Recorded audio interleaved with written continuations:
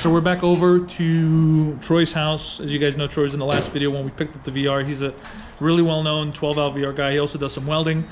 We spotted some cracks on the inside of the frame here next to the fender that we're gonna have to pull. And Troy's cool enough where we're gonna stop drill it and then we're gonna do a couple little stitch welds to stop it. It looks like the crack kind of spread all the way through. See if we can get some light. If you guys can see it, you'll see that void. You see that? And it's on both sides. Yeah.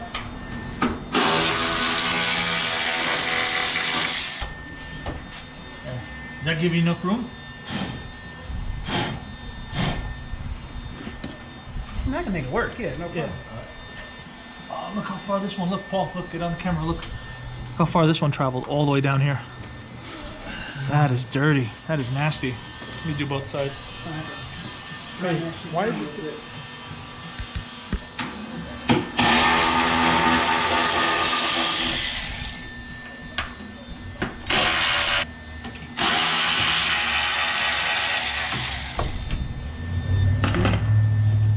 Give him enough room now to weld.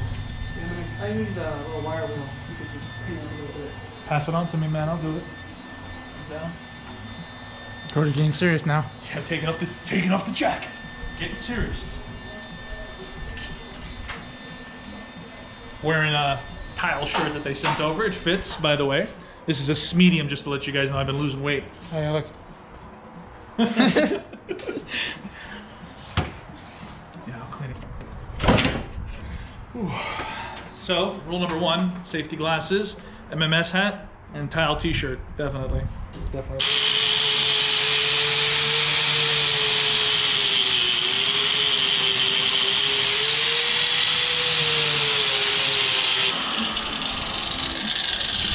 About as clean as it gets, I think. For a B5 anyway.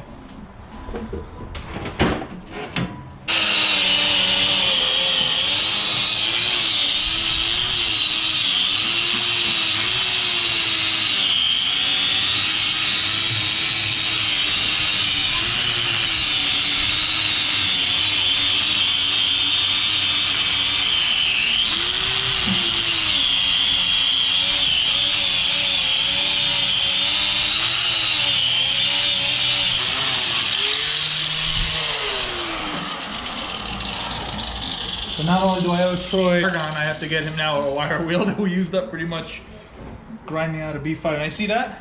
See where it started to pull and separate? It's the seam filler, all the stuff that they put in from the factory. So some little stitch welding in here to keep it keep it from spreading and opening. You see that side's even worse. Check that side out. Troy, thank you very much. Wearing your safety glasses for safety? Oh yeah, heck yeah. See, that's the problem. So I was pulling and separating. So we're just doing a couple little stitch welds, a couple little stitch welds to keep it from pulling any farther.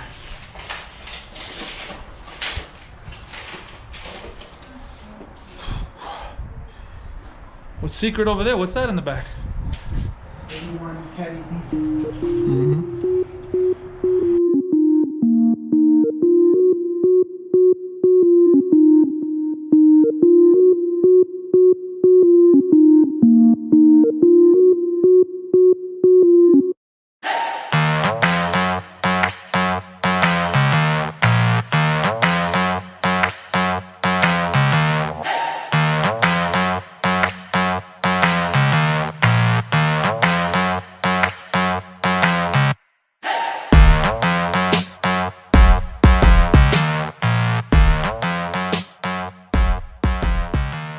So we found the cracks, I think, maybe about a month or two ago. And now that the car is running and mobile, Troy does welding here for himself and fab. So he was kind enough to kind of just fill up these little seams for us, keep them from spreading.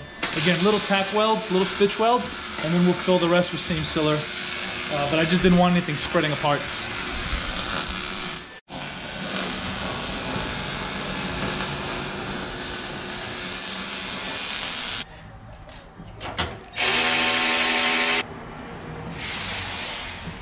Good? Um, the top drawer, it's open right there. This one here? Yeah. No, no, down one. That big. Down, down. Down. That, that, Yeah. In there. Yes, Troy. I I didn't have toolboxes since my old house, so I gotta get it all organized. I never had a toolbox ever. Stavra got me one for Christmas, and that's about it. That's all I got. Never even use it. No, I use it No, all the time. it's a great little toolbox. What are you talking shit for? I don't like you no more, Chloe.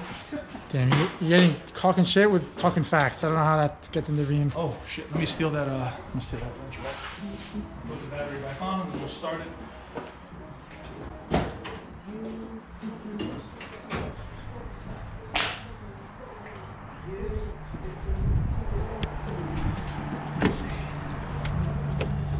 We're putting the R3 battery back in and uh, S4 is really weird, but it gets the job done.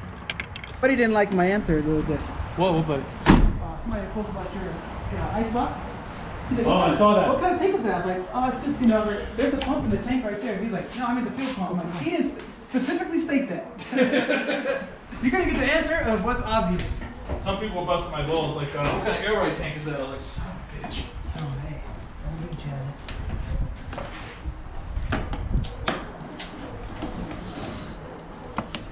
There it is. Oh, she's not separated. Let's give her a start.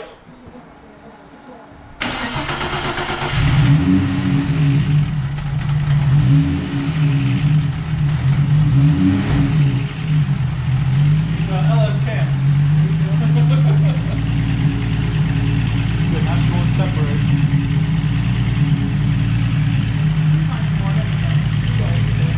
Bubba says we're probably going to be a lot more close to back. Uh, the fair part of the chassis, we're probably going to find out more.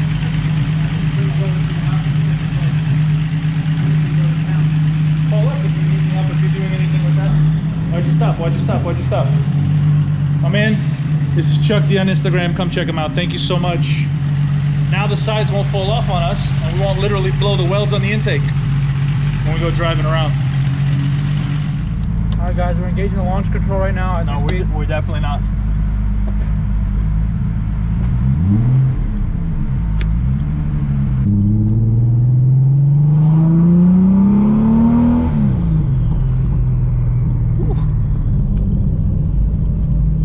Oh shit. We got us two blocks down. Ah, FMH. I don't know the neighborhood. I don't know the area. What are you making fun of me for, man? Is it here? Yes. So we got the so the sides are pretty much held together with seam filler and like glue. They're starting to spread apart. So we had Troy, who was gracious enough. Thanks again, Troy, for uh, stitch welding that up for me. And now we're gonna head back, go pick up the truck, and go out for lunch. So that's today's episode of wide body. Not making much power. Again, we're still in the base file, still putting on miles. We put roughly around 300 miles on the car. So we found coolant leaks, uh, pinholes in some hoses. Uh, what other issues? Uh, the fan situation for the coolant fan. Uh, but so far she's holding pretty steady. You know, I want to put like another, I'd say, I want to put like another two, three hundred miles in. And once we put about maybe five, six hundred miles on the car, once we know there's no leaks, no issues. Oh, I have to replace the speed sensor. Speed sensor is acting up. So uh, I'm gonna order one of those today when I get home for the transmission for the OE It's on the left side. I'm gonna order one of those, and then uh, then we should be ready for the dyno. Hopefully that happens on the 5th of January or whenever uh, whenever we can get some dyno time uh, with Turbo Joe, so we can get this baby dialed in on 91, and then also we're gonna go in for 85.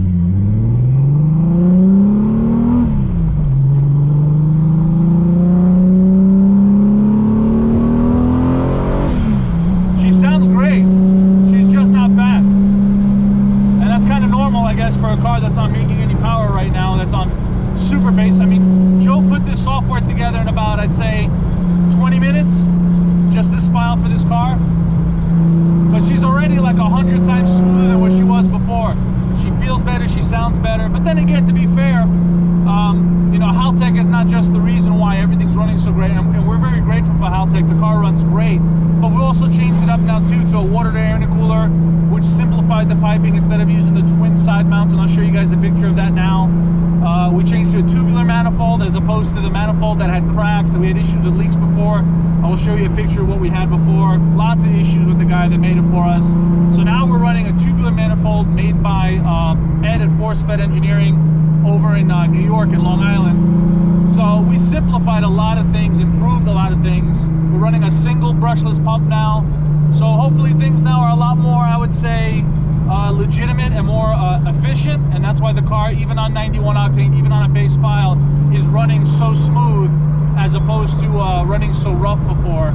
You know, there's a lot of things that changed. We went from a stock ECU to now running a Haltech 2500 Elite with all the bells and whistles, um, you know, launch control, uh, rolling anti-lag. I mean, this is all standard stuff. For those of you guys that have built cars, you've been doing standalone for a while.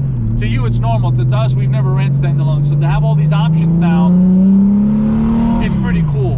Um, that aside, guys, it's just got to put more miles in the setup. Got to make sure what we can find. Make sure if we find any issues, Thank you.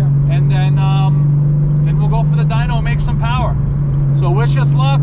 Wish us luck on this little journey that we're doing for miles, and we'll see you guys soon for the wide body on the uh, the dyno, and hopefully she makes some good power. Thanks guys for watching. We'll see you guys in the next one. Peace.